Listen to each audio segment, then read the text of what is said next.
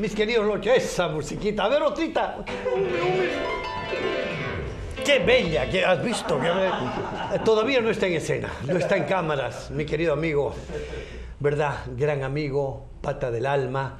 Tuve la, la suerte de, de encontrarlo deambulando ahí, haciendo cosas, y me sorprendí, porque era un gran imitador, un hombre con unas habilidades histriónicas extraordinarias.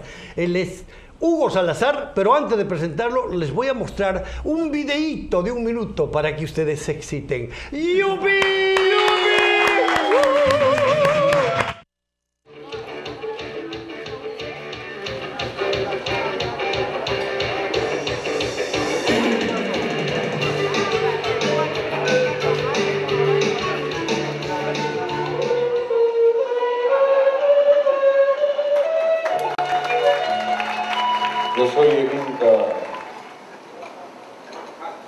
Con suma.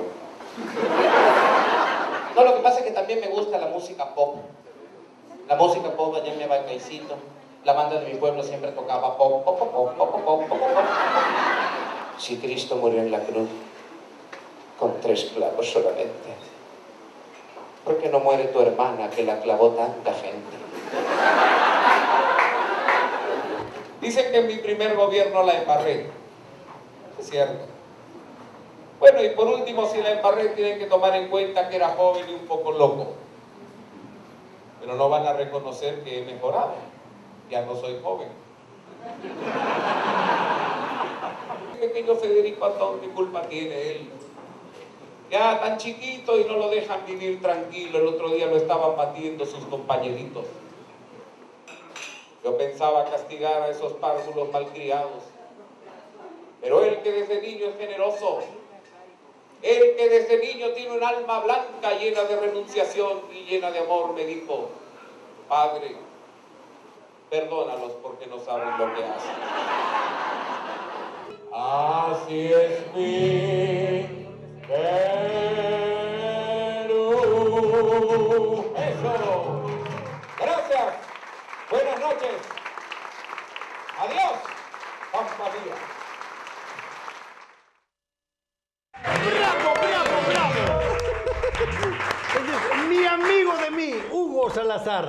¿Verdad? Ahora lo tenemos en vivo y en directo, después de una persecución enorme por el Sachmo, ¿verdad? Está haciendo una obra chola, linda, de todas las sangres. Se llama Pura, Pura raza. Raza. Los sábados a las 10 de la noche. ¡Yupi! ¡Ay, ay, ay!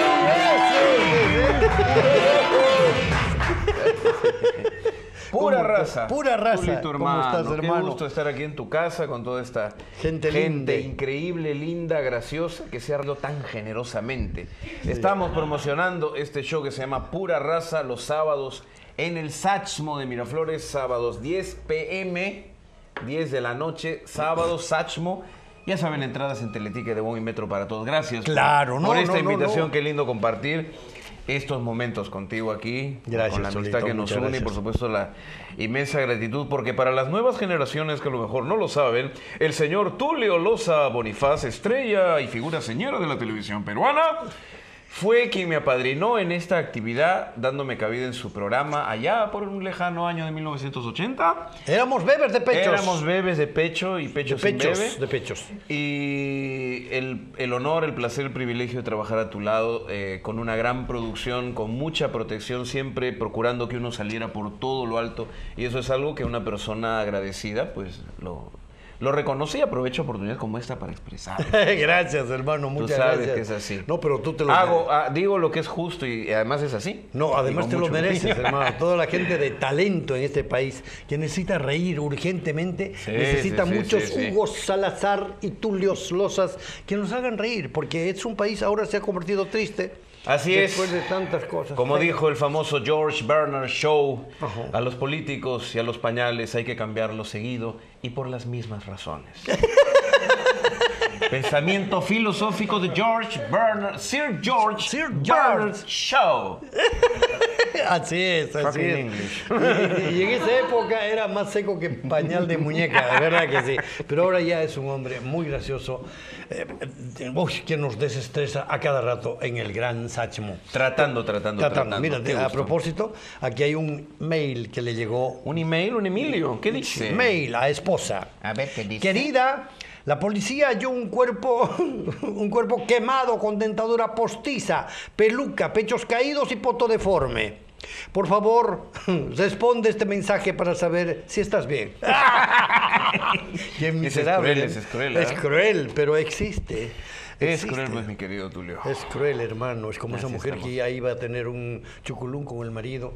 El marido estaba depositado ahí en su, en su lecho de Ajá, dolor, en este de caso. dolor. Y la mujer ahí frente a un espejo viendo que todavía se creía potable. Y empieza a decir, qué pena, pechos caídos, estrías en todas partes, me engordé, pucha, mira esa panza, mira esas piernas, qué horrible estoy. Oye, dime algo para levantarme el ego, que tienes una vista de la pitrimitri.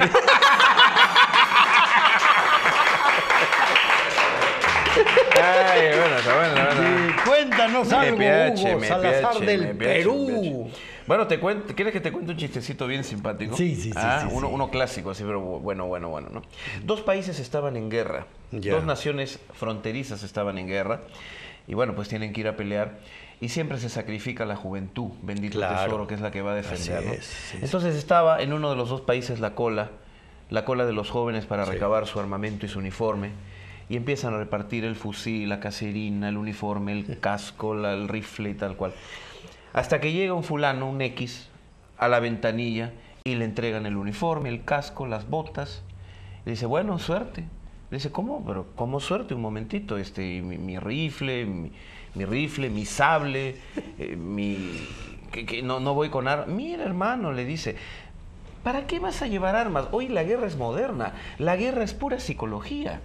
Si tú ves, por ejemplo, que, que un enemigo se aproxima a cierta distancia, tú haces así con tus bracitos como cuando éramos niños y jugábamos y le haces rifliti, rifliti. Así le haces rifliti, rifliti y vas a ver, hermano, el éxito que vas a tener. Ahora, si el enemigo sobrevive y lo tienes más cerquita, haces así tu pistolita con tu manita y tu dedito y le haces pistoli, pistoli. Y vas a ver cómo vas a triunfar. Ahora, si por estas casualidades te sobrevive y haces el combate cuerpo a cuerpo, haces así, con tu manita nomás y dices, sabliti, sabliti, sabliti. Oiga, pero usted está loco, ¿cómo me vaya? Vaya, pues. Ya se tiene que ir el hombre. diablo. Se tiene que ir pues, a la guerra. Sí, guerra No hay armas, no hay No nada hay. que hacer. Se va aunque sin, sin- sin ni siquiera una, una, una onda, nada. Llega al campo de batalla el tipo en la trinchera, se moría de miedo, por supuesto, todo, todas las bombas ahí, ¿no? Toda- todo el ruido de la guerra y él estaba que se moría de miedo, ¿no? De repente el hombre se da valor y dice, bueno, pues no importa, ya que voy a morir, moriré por- como un valiente por mi patria y seguiré las instrucciones que me dieron. Asoma por encima de la trinchera, hace, rifliti, rifliti. Hermano, se baja a dos. Te lo juro que se baja a dos. Vete, rifliti, rifliti, se baja a varios más. Y así empieza, rifliti, rifliti, se baja como a mil. Algunos los sobre- les sobrevivían y los remataba así, pistoli, pistoli, y los mataba. Cientos que se mataban. Algunos les sobrevivían el combate cuerpo a cuerpo. Sabliti, sabliti. Y Eh, pum, pum. mata gente. ¿no? Pues, eh, En media hora, pero se liquida casi todo el batallón enemigo. Se va despejando el humo de repente y dice, ya gané. Soy un héroe. La guerra es psicológica, no hace falta armas.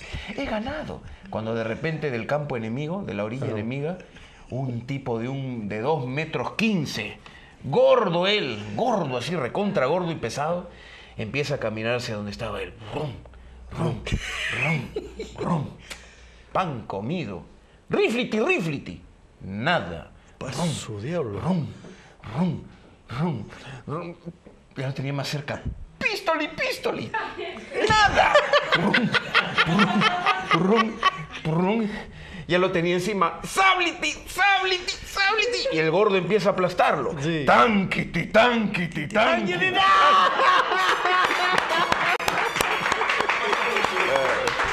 ¡Qué buen chiste! La guerra psicológica. La guerra psicológica, Sí, qué sí. buena. Claro, ojalá que no, ojalá que realmente a los peruanos no nos toque algo de eso, porque como estamos hasta el perno en armas, vamos a tener que hacer psicológica. Sí, sí, sí, sí, sí, sí, Onditi, sí, Es, es como eso de ese de las monjitas en la guerra esta que hay ahorita Ah. en Libia. En Libia. Asquerosa. Imagina esta época de megatones y galatones, guerra. No puede ser, pues, no habiendo tanto pena, ¿no? hambre, Tanta hambre, tanta todo lo que se necesidad de educar a la gente, etcétera, etcétera. Y, y gastan un chupo de plata. Un ej de plata. Un ej. Yeah. y cuando es dos es ex. Ex. Con ese. Bueno. Y cuando pierdes el tiempo es egging. Egging. Entonces había unas, unas monjitas en un convento. Había una monjita bien grosera. Cállate, tomá, que esto, una mula era la, la monjita. Y las otras decían, "Oye, ¿qué hacemos con En esta el nombre grosera? de Dios. Sí, en el nombre de Dios, lisurienta, chesuma. Mira, cada que empiece con sus lisuras y sus groserías, nosotros nos levantamos y nos vamos. Ya. ¿Cómo hacemos? Cuando empiece con sus groserías esta hija de su madre, nos levantamos y huimos, nos corremos. Muy bien. Gran reunión de todas las monjitas por lo de Libia. Y todas dicen, eh, la, la, más superiora, hermanas, las hemos convocado aquí porque tenemos que ser solidarias con la guerra, con la muerte, con las heridas y todo eso. Así que por favor os he juntado para que veamos cómo solucionamos, cómo apoyamos, cómo ayudamos. Muy bien. Entonces una de ellas levanta el miembro, la mano izquierda, y dice, yo sugiero que habría que mandarles muchos alimentos a estos pobres soldados que estarán hambrientos. Una de las monjitas, Dios nos coja confesadas. La otra, yo sugiero que habría que mandar muchas medicinas al campo de batalla porque me he enterado por los videos que hay muchos heridos. Y la malcriada, la lisurienta, se parece. Yo sugiero que habría que mandar muchas prostitutas para estos pobres soldados. Entonces las monjitas en tropel se están yendo. Y le digo, imbéciles, todavía no se vayan si no he pedido todavía los camiones. Yo tengo otro de monjitas. De monjitas. Este, eh, sí, este es así, choque y fuga, ¿no? Este, Yo que fuga. Acababa Belmont de inaugurar las ciclovías, pues, este, cuando era alcalde, ¿no? Ahora hay ciclovías, esto Sí, está, pues, está muy sí, bien para sí. la bicicleta, Claro. ahorras energía y, y contaminación. Y estaban, y estaban las monjitas, oye, como 50 monjitas en bandada en la bicicleta, y estaba la madre superiora adelante manejando su bicicleta, y las monjitas atrás. ¡Ay, ay,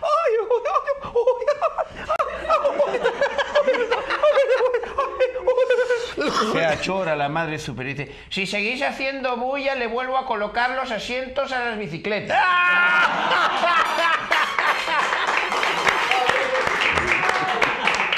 Qué buena. No van a excomulgar con este chiste. No, no, este es muy bueno. Dice que había una, una- una mujer que estaba ahí frente al cura, eh, ¿no? en, la, en la Santa Iglesia, y se estaba confesando, Dios te salve María, el Señor Dios que te sea, sea concebido, algo así es. Son las palabras. Pa, pa, pa, pa. Bueno, entonces empieza y le dice, Padre, os me confieso que ayer conocí a un hombre, creo que se llama Tulio, muy hermoso. Bueno, si no era Tulio, era, un, era Julio. No, la cosa es que se comió una, una consonante. Generalmente yo me como una vocal. Bueno, entonces este, empezó ahí y le dice, está buena, está buena esa, una vocal de la Suprema. Pues. bueno, entonces este, estuve, conocí, eh, qué simpático padre, y mm, ¿sabe qué cosa? Me llevó al río. Yo me quité la camisa, él se quitó la corbata, él el cinturón de revólveres y yo la falda, imitando a Calderón de la Barca, creo que es el autor de eso, de, y él se quitó esto y, él, y se empiezan a quitar. Y le va contando al otro, y sabe, padre, hay en un improntus de esos, este, hicimos el amor. Y nada, y, y sabe, padre, hicimos el amor. Y escucha...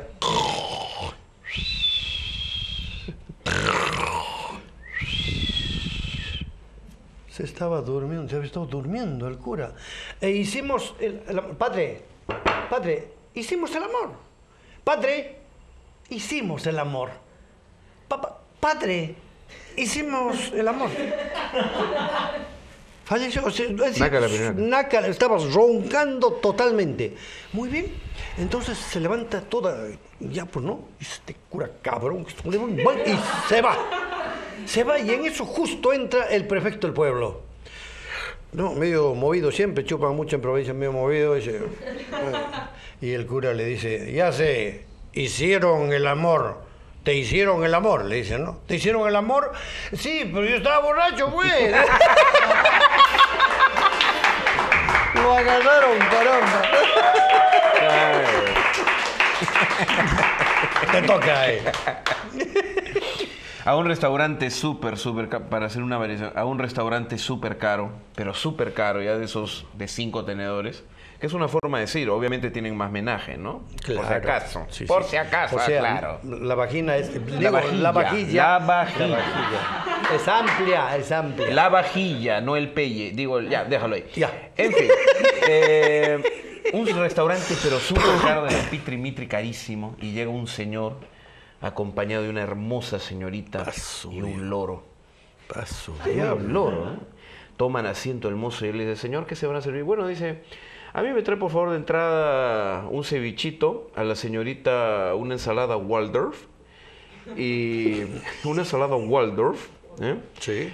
y un y un una fuente de jalea para el loro. Para el oro. Para el loro. Señor, el mozo, discúlpeme, pero jalea para el loro. Sí, por favor, tenga la bondad. Ah, no, no sé, claro, claro. Eh, señor, disculpe, em, ¿algún platito de fondo que desea? Sí, cómo no. Ah, sí, a mí me trae, por favor, un fettuccine a lo Alfredo. A la señorita, a la señorita, a la señorita un pescado al vapor. ¿ya? Y dos fuentes de arroz con pato para el loro. Señor, pero el- bueno, en fin, cada quien con su plata hace lo que quiere. El mozo va, les trae la comida, se la comen. La Eh, ah, comida. La comida. la La comida. comida. Regresa y le dice, señor, dígame, eh, ¿quisiera usted algún postrecito? Sí, como no, me trae usted por favor un helado a lo macho. ¿A lo macho? ¿Cómo así? ¿Con dos bolas? A la señorita le trae un bavaroa de guindones y tres tortas selva negra enteras para el loro. Paso. El Dios. mosaico no se aguanta la curiosidad. Le dice, señor, perdóneme, pero estoy anonadado con la dieta de este animalito. Me parece, oiga, come mejor que ustedes. ¿Cómo es posible? Bueno, le dice, el tipo era muy simpático, muy democrático. Dice, bueno, amigo, me han hecho esta pregunta tantas veces, pero una vez más que importa, le voy a decir, mire, yo siempre he sido amante del automovilismo.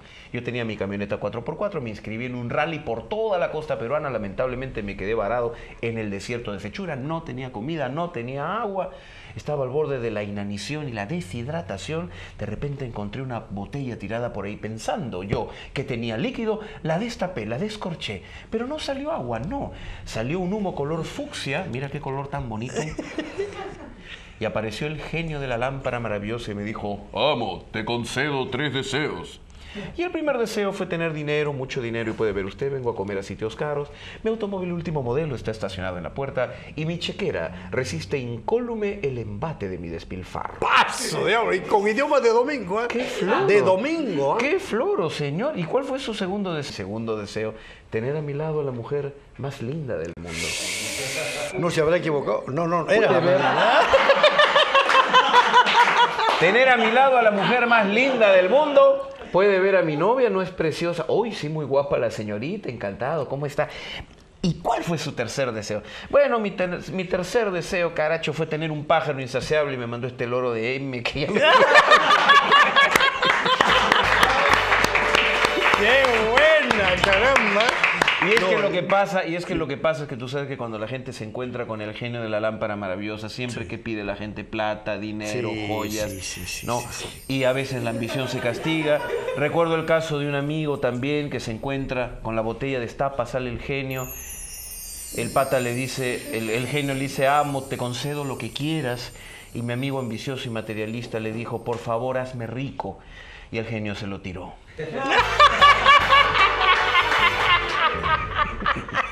Pura raza en el Sachmo, sábado, 10 pm. A las 10 de la noche. Así es, venga, si muere, si viene morirá de risa, si no viene moriré de hambre. Esa del oro también muy Eh, bonita. es bonita el oro del también. convento. Vienen, todas las mañanas venían tres monjitas lindas, bellas, potables, amplias de corazón, este, a visitar al padrecito. El padrecito era como el padre Roberto, ese, el padre Alberto de Miami, ¿te has visto? Ajá. Un miserable, que, pintón, corón. Bueno, Entonces este, venían a visitar y había un loro ahí arriba, un perro el loro. No era loro, era un perro. Entonces las miraba y decía, y nombraba tres colores. Por ejemplo, azul, rojo, violeta, algo así. Entonces las monjitas, ¿qué, qué? nos han nombrado tres colores diferentes. Este, ¿qué, ¿Qué habrá querido decir? Ya sé. ¿Qué, color es tu calzón? Violeta, azul. eh, y coincidía. ¿Y cómo ve? Tiene rayos X este imbécil. ¿Qué pasa con este loro? Vamos a salir de dudas. Mañana nos venimos todas con calzón blanco. Las monjas, no las monjitas. Y esos calzones hasta abajo. Sí, antierótico, ay. matapasiones. Sí, sí, matapasiones. No, no es como de... Bueno, entonces de, de- de la belleza del oro. Entonces, este, vienen con su tapafondo blanco lindo, ¿no? Están entrando y el lorito dice, blanco, blanco, blanco, blanco, blanco, blanco. ¿Qué te dije? Este sabio, este miserable. La, vamos a salir de dudas totalmente. Mañana nos venimos sin tapafondo, o sea, sin calzoncito. Las monjitas vienen, ay, pucha madre, parecía zapato roto, ¿no? Con los pelos. ¿Es, cómo se llama la de zapatos rotos? La, la- la- ¿Cómo? Gloria Trevi. La Trevi. Sí. Algo de pelos. ah, sí, sí, sí, algo de pelos, no sé qué cosa. Bueno, entonces. viene la tre- vienen las tres monjitas, sin tapafondo, sin calzón, y el lorito les dice: Lacio, Crespito, recién afeitadito. ¡Ah!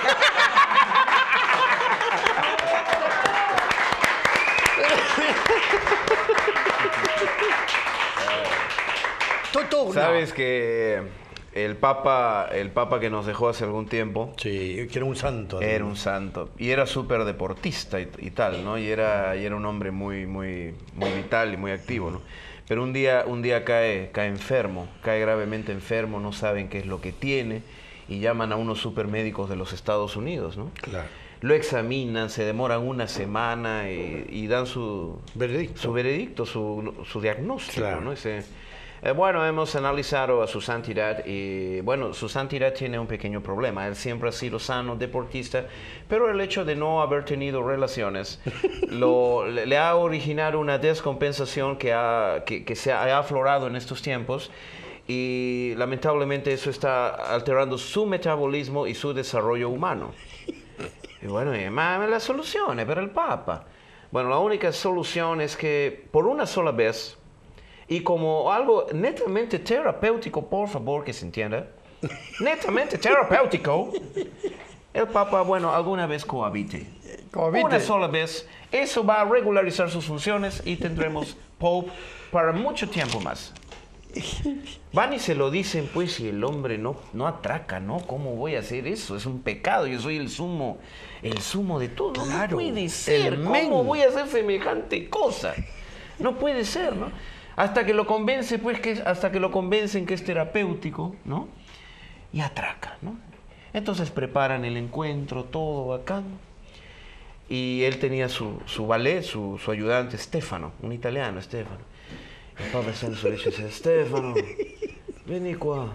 Stefano, Vieni qua. Stefano, Santo Padre, Stefano.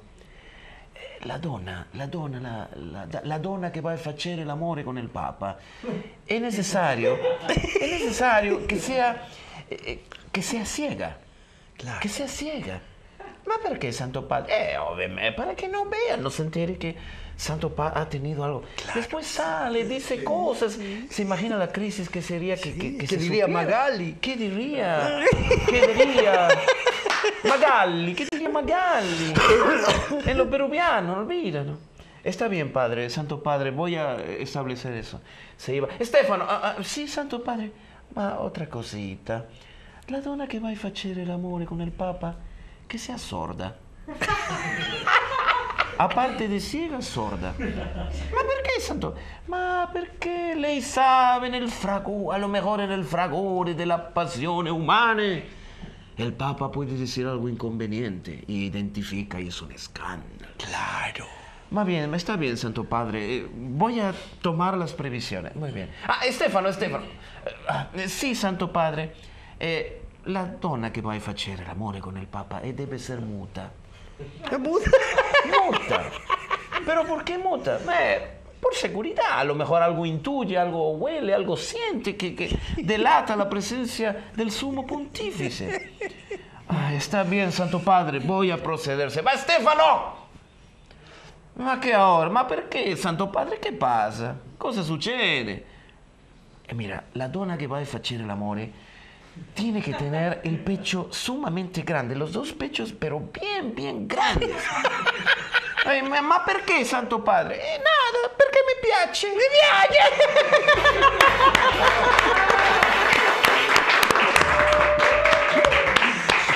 Claro, después de 500 años el pobre tenía un encuentro, quería algo extra Ay, Dios ¿no? Y no dejar huella, y no dejar huella. Este es un tipo que era pues, un, es decir, un- una bodeguita, tipo barcito. Y se acerca un tipo, se acerca un tipo y le dice, de esos malcriados, ¿no? Le dice, por favor, me da una chela bien helada. Y se la tira. Y le dice, cuatro soles. Cuatro soles. Yo no pago porque pertenezco a la banda de los pelucones. ¿Cómo? Pertenezco a la banda de los pelucones. Y se va. Entra otro, pelucones, realmente pelucones, ¿no? Una chela helada. Cuatro soles. Se la tira. Yo no pago porque pertenezco a la banda de los pelucones. Hasta que entra un calvo. Y aquí ya cambiará la vaina, ¿no? Después de haber chupado yo como cinco sujetos que se habían metido. Este, una chela helada, por favor. eh, se la tira. Y dice, cuatro soles. Sí, yo no pago, pertenezco a la banda de los pelucones. Pero usted no tiene pelo, usted es calvo, usted no tiene pelo. Sí, se baja el cielo y dice, agente secreto.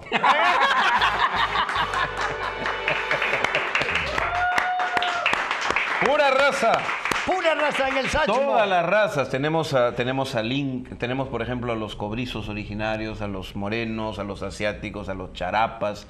Hago una imitación tuya para rendirte. Uy, caramba. Homenaje. Sí, sí, mis queridos lorchos del Perú, balnearios, más pueblos jóvenes. Permítame presentarme, mi nombre es Davis Ferguson Ocrospoma Huancamaya. Vine aquí a Lima, vine aquí a Lima bajando de la sierra. En la sierra, la vida es distinta y en la sierra el hombre maneja su mula, en Lima la mula maneja su combi. Qué buena. Me he casado con la chisle y una chelfa linda, rica, extra motor oil.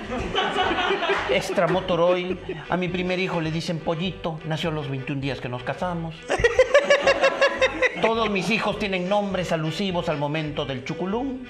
Mi segundo hijo se llama Sereno, porque en el chuculún un sereno nos ampalló. ¡Qué vergüenza!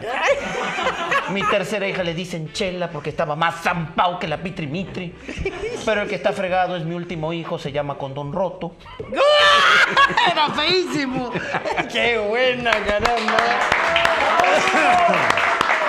Y bueno, también, también incluimos algunas invitaciones alusivas, ¿no? El presidente, tú sabes, el Por presidente. supuesto, del ñaño. También tenemos al candidato sufrido, tú sabes, a Sí, nuestro sí. amigo. Toledo. Así es, no he dejado a Elian en casa, el médico le dijo, no practiques paracaidismo, caes mal. Ahora en las reuniones le dicen fin del mundo, nadie quiere que llegue. Y es un show, es un show además en el que tenemos unas pequeñas estampas de música muy bonitas que, que colorean esto. Y sobre todo, pero sobre todo tenemos 12 personajes distintos. Tenemos al Inca, tenemos a, a, a, al que le rendimos un homenaje. Tenemos a Alejandro Toledo, tenemos a un charapa muy gracioso que es el que pone la parte, la parte más pícara. La parte más pícara ahí, ¿no? El el- Calentona. la parte más calentona, el charapa. Tenemos a los asiáticos, el chino, el chino Kooli, el chino, el chino Fujimori, que también entra. Tenemos los blancos con el virrey, el chalán y el presidente Ah, actual, que es el que cierra este, esta gran revista de razas que es el, el Perú y, y- y esto de toda la sangre que se vuelca en una parte humorística, ¿no? Qué lindo, ¿ah? Hay que ir a Tienen verlo, que ir a verlo, por ¿eh? Dios, sábado Todo- 10 pm, Sashmo, Teletique. Todas las razas. ¿cómo se llama? ¿Cómo se llama? Pura, Pura raza. raza, pura Y están raza. todas las razas de este país ahí. Este es un show de Ingas y Mande- A ver si puede la cámara este, apoyarnos con una tomita, diríamos. Ahí está, ahí está, ahora sí. Ahí está, ahí está, ahí está, ahí está, Mira, pura raza. Ya saben, ya saben. ¿Y ya el, ñaño, ¿Y el ñaño qué dice? ¿Qué dice? Creo que algo de Yo Pilar. siento, yo siento realmente que en todo este tiempo hemos sido objeto de improperios, hemos sido objeto de inventivas, pero voy a hablarles en sencillo, sin esa verborrea conspicua llena de ribetes capicúas insertas en los organismos efímeros de un nacionalismo onerosamente orgánico. No sé qué Michi dije, pero impacta. Impacta. Alguna gente reconoce los esfuerzos. El otro día se me acerca una mujer abnegada, madre de familia. Me emocionó realmente, Tulio, sé, te lo digo porque sé que lo entiendes, Sí. amigo querido. Se me acerca una abnegada madre de familia y me dice, Alan, desde que tú estás en el gobierno, desde que tú estás en el gobierno tengo el más alto nivel de vida que me ha tocado vivir. Mis hijos también tienen el mejor nivel de vida de toda su vida. Van a los mejores colegios, a las mejores universidades, se alimentan magníficamente. Alan, realmente, qué bien estamos desde que tú estás en la presidencia. Yo me emocioné y mirándola fijamente a los ojos le dije, gracias Pilar por tus palabras. Vamos a cerrar con ese tu chistecito, porque ya, ya tenemos ese del alemán, hermano. El alemán. ¡Ay, qué lindo! Ah, ¿ya estamos sí. al cierre? Ya Ah, estamos te tengo una cierre. pequeña sorpresa. Uy, yupi. Te tengo una pequeña sorpresa. Yupi. Algo que te ofrecí hace algún tiempo. Ay, qué gracioso.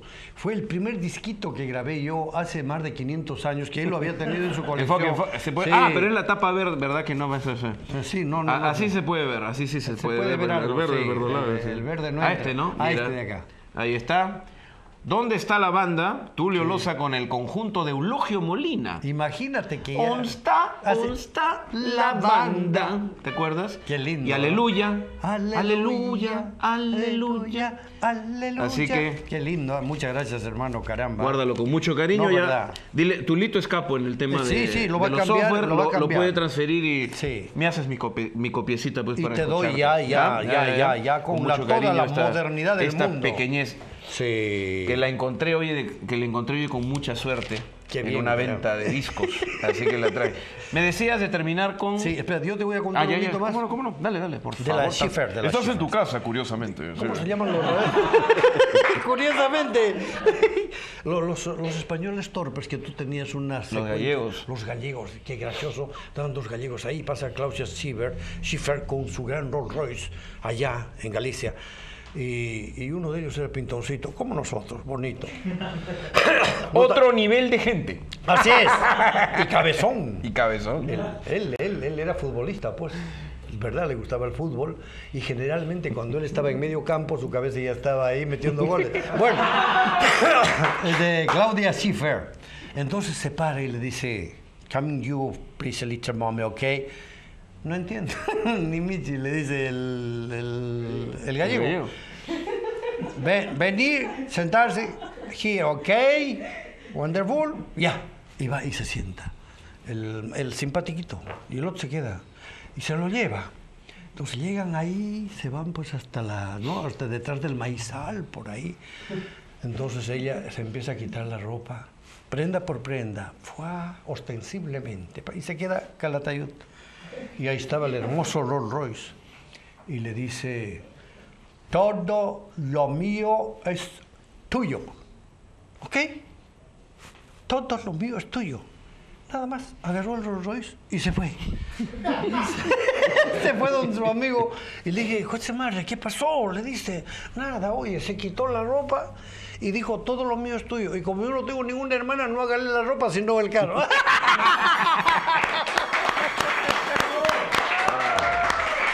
Cerramos con el alemán, o si quieres, tírate dos seguidos también, ¿ah? Bueno, bueno, este. Este del alemán. No, vamos a, vamos a contar este del alemán. El alemán, ya me perdí. ¿El alemán o el inglés? No, no. Alemán. Helmut Kohl, antiguo canciller de la República de, de Alemania, porque ahora ya es un solo- una sola Claro, Alemania. de la era Alemania occidental sí, y la oriental. De Alemania Occidental. Claro. eh, Eh, este canciller va a España en visita oficial tres días. Lo atienden a cuerpo de rey, el español es muy espléndido, muy, muy generoso Claro, para atender, claro. es muy espléndido. Lo pasean, lo agasajan, paradisíaco, completamente. ¿no? Cuando está por irse de retorno a Alemania, tiene un petit comité en un saloncito con el rey, una, una protocolaridad ya la última. Claro. Y el rey de España le hace un petitorio un poquito incómodo, ¿no? Le dice, señor canciller, Espero que su visita a España haya sido todo lo grata todo lo grata que, que hayamos podido ofrecerle, pero quisiera pedirle un favor de estadista a estadista, de jefe de Estado a jefe de Estado, eh, algo en beneficio de España para nuestro mayor desarrollo y prosperidad. Oye, es lo que puede servir ese huevara que diga. Señor canciller, quisiera que usted me haga una crítica constructiva. Quiero que me diga qué es lo que no le ha gustado de España. Pregunta incómoda la cual el alemán trata de zafar. No, no, todo bien, España, schön, schön, muy bonito, leque, leque, muy bien, usted, extraordinario. Mucho desarrollo, muy bien, están. ¿Qué, qué podemos decir? Hombre, pero algo habrá visto usted, no sea, no, no se quede, no sea, no le dé pena ninguna, no, dígamelo nomás, eh, nadie se va a enterar. No, no, todo está bien. Oye, pero tanto lo joró el rey que el alemán, por zafar, por ya salir del asunto, eh, bueno, eh, ya que insiste, le diré que el otro día pasamos por una avenida y vi que la gente tiraba mucho papelito a la calle y algunos edificios estaban un poquito con tierrita. Había que pasarles manguerita y una segunda mano de pinturita. Un Si es que no un se- bochazo, un un bochazo. bochazo, ya. Bochen, pintando y quede bien, bien, bien, este, Taipen, bien Taipen. Espero que no se haya molestado por lo que le he dicho. Pues no. Pues no me he molestado nada. Paso de Gracias, muchas gracias. Adiós, adiós, adiós, adiós. Nazi de miércoles. ¿Para qué le pregunta si se va a picar? No tiene sentido. Al año siguiente tiene que devolver la visita el rey. Claro. Y te imaginarás, desde que llega, tres días también, desde que llega empieza a buscar el defecto para... Claro, para, para, para meter Oye, el pero en. Alemania era, era ya, era ya, ya, ya hasta molestaba de que cómo funcionaba bien todo. Sí, todo. Todo funcionaba recontra bien, semáforos, teléfonos públicos, la policía maravillosa, hasta los políticos eran buenos, alucines. Limpio, total. Todo Todo político. limpio, no había todo. ni corrupción. Una puntualidad increíble, un desarrollo, una pulcritud, es decir, la máquina más aceitada como país que te puedas imaginar. Ah, sí. Nada, no encontraba nada. Al día siguiente algún defecto, un papel en el suelo, una mosca, nada. Ya Hitler las había matado. No había nada. Los restaurantes pulquérrimos, ¿no? Eh, eh, podías comer en el baño de los pulquérrimos, de los limpiecitos que eran. Claro. Ya el rey estaba diciendo, ya me ganó por goleada, ¿no? ¿Cuándo quién te dice que al día siguiente tienen una última ceremonia? En uno de esos palacetes que tienen medio kilómetro de escalera chiquitita que va a ser como- ¿Y quién te dice que están llegando ya al nivel de la pista, de la calle? Y en la avenida circundante pasa un sujeto en su BMW del año, su automóvil último modelo, y cuando pasa por ahí abre la ventanilla del carrito y tira la, y tira a la calle restos de pollo a la brasa, la- una botella ya vacía de plástico de gaseosa, servilletas, un pedazo de empanada que sobró por ahí, la, envoltura esta de Tecnoporto, un asco. El rey ve eso y salta como un resorte. ¡Mirad! Mirad, mirad cómo se cuecen habas, joder, en todas partes. Mirad, mirad lo que ha hecho ese imbécil que está ahí. Y después me viene a hablar mal de mi España. Vaya, toma por saco. El, el- el alemán se siente mal porque el, prestigio del país y lo manda a traer al sujeto para Claro. darle su darle merecido. su cuadrada. Y la policía, la policía, la policía. Policía. De, la, de las ovejas se lo lleva de- delante, de, delante del alemán y el alemán le mete un café cargado. ¡Ay, me salen des von der Eines, tut mein! ¡Jo Putin! ¡Mierden! ¡Tiranden, huevaden, jodienden, pisen, auf das Ei, besinnen, Karachen! ¡Ay, me salen meinen, ines, ei, mit Armes, wenn den Deines, ohne Sopf, in die Wien! ¡Why descended! ¡Ah! ¡Madre! Y el tipo aterrorizado lo mira y dice, "Eh, disculpe, soy español, no le entiendo nada.